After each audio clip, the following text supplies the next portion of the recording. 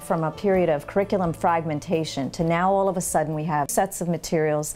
People are going to now focus on teaching differently, but within the context of a rich set of materials that enables us to engage students in learning mathematics in a way that's uh, more engaging, that's more thought provoking, that gets the students up and involved in learning the mathematics and the teacher being skillfully facilitating and helping to support the learning. So we moved to a professional development program that uh, focused specifically on using these materials and the pedagogy attached to it. That program we called Toward a New Normal in High School Math Instruction, and we've been embracing this new normal for the past four years. We brought author Sherry Fraser out to help support the professional development. She's been amazing in terms of getting people excited. Um, we've had some other folks that she's brought into the work to help support people that have taught the curriculum and know the curriculum deeply and really can help our teachers transition to teaching differently, you know, finding a different way to engage students in learning. At first I was actually pretty skeptical of changing to changing curriculums. I was um, taught traditionally, had been teaching traditionally.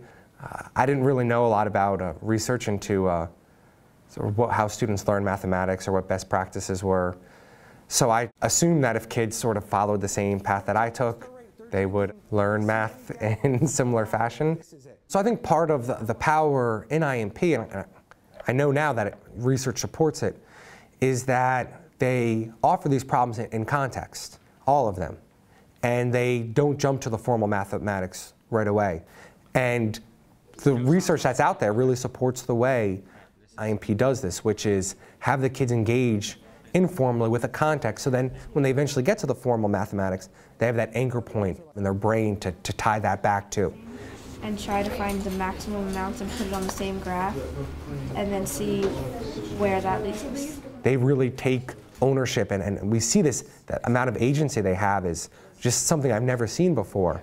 We realized it was always one less than a square number, and that the square number that it was one less than was one more than this. So we put that into an equation and it worked. I've seen an improvement, especially, I'll say, over a, a longitudinal basis as far as I actually see some of these kids junior year, senior year. And it used to be they never remembered anything.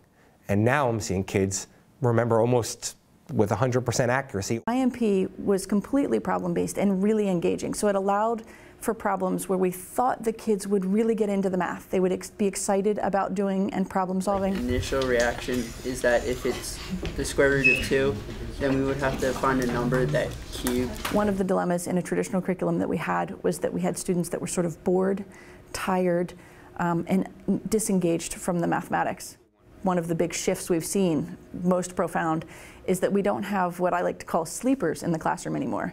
There's nobody that puts their head down and doesn't engage. The problems pull them into the math.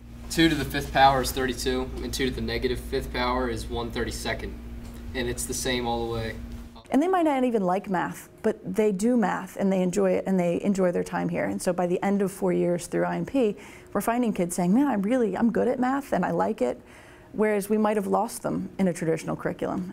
So my long-term studies of students learning in high schools um, involved students in IMP classrooms and uh, the students who went through IMP were so different to the kids who went through the traditional approach. They were confident, um, they had a belief that they could see any math problem and solve it. So really different approach to math. They had different ideas about what math was.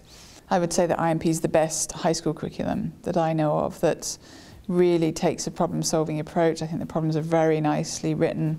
I love the idea of giving students a big problem which they can't solve and then having them work towards the solution of that. So certainly in all the classrooms we've worked in and watched and researched, we've found great engagement and mathematical thinking and work. So yeah, I'm a big fan. What we're doing is aligned with what the Common Core asks us to do because, because of IMP. That's why we're in good shape in math. Because the practices that this curriculum demands are lined up right next to the practices that Common Core demands. It's very obvious that uh, we have huge math failure across the country. We have workers who aren't prepared. People are realizing it's time for change. If we really want these kids to compete in the global uh, economy, we need problem solvers. We need perseverers. We need kids who are, who are willing to tackle problems and think about them logically and, and systematically and, and work within a team structure uh, to, to solve the solutions that are going to make them successful in the 21st century. This isn't just for the success of our individual students. As a country, for us to be successful, we need to change the way we teach math in this country.